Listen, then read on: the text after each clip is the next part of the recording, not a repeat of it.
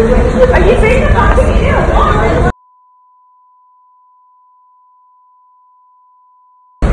चल भाई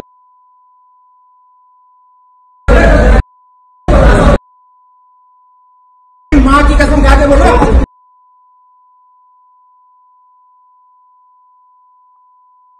एक leave, leave, leave. मेरे कैसे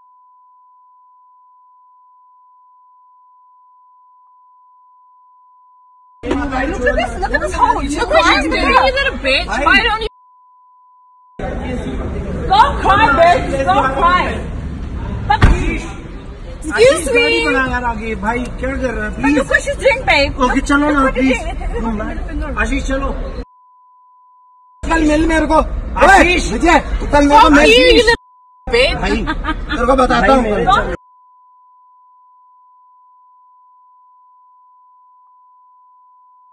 Skinny, you give us a I told you, babe. I told you. I told you.